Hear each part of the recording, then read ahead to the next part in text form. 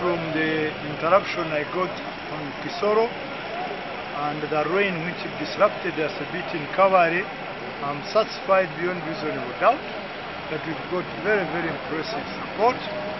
I am originally from Kigezi, because my hometown is in Kunjiri, and I studied in Nyavirerema, just near here, where we stood first time when we were coming this side. I did my school in Utobere.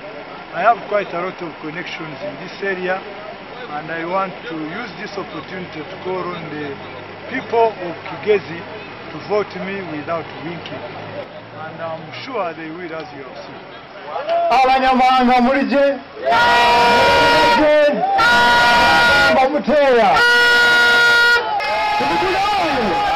Segurou!